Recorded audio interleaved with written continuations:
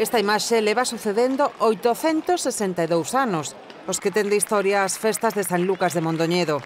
A feira máis antiga de Europa comezaba onte coa chegada dos cabalos ás rúas da cidade, unha imaxe que esperan cada edición milleiros de persoas.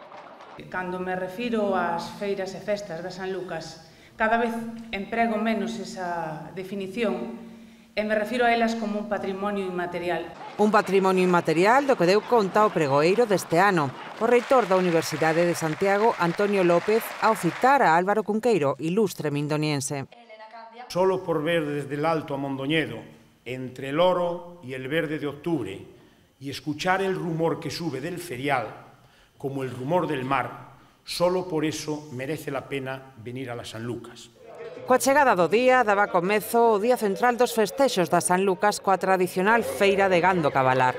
Este ano estaremos alrededor dos 70 dos 700 animais, máis menos, e ganadeiros entre o que ten unha gran explotación hasta o pequeniño que ten 7 ou 8 animales, estaremos rondando 70, máis menos.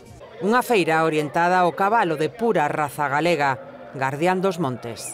Son moito máis pequenos, eh, son robustos pero pequenos e son duros moito máis que outro cabalo calquera.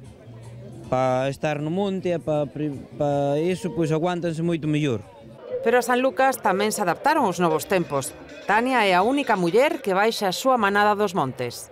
Este ano baixei sente pico e levo desde 2015 baixando os cabalos, dirigíndose hacia a feira.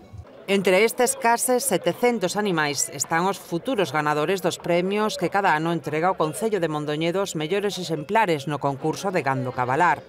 Curiosos e tratantes aproveitan o día para admirar os animais ou tamén facer negocios. Hai caballos de todo tipo, de montura, e despois aparte de eso reúne tamén los espectáculos que conlleva alrededor de la feria. É unha cosa para los aficionados al mundo del caballo muy interesante. Suposto, cabalo pura raza galega tamén. Vimos dar unha volta e se nos encontramos algo que nos encaixa, compralo. Os prezos dependen do tipo de animal que se busque, desde os 150 euros aos 3.000, aínda que hai opinións para todos os gustos.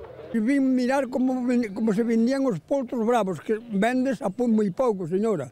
Outros percorren milleiros de quilómetros para asistir a San Lucas e rexistrar as súas tradicións.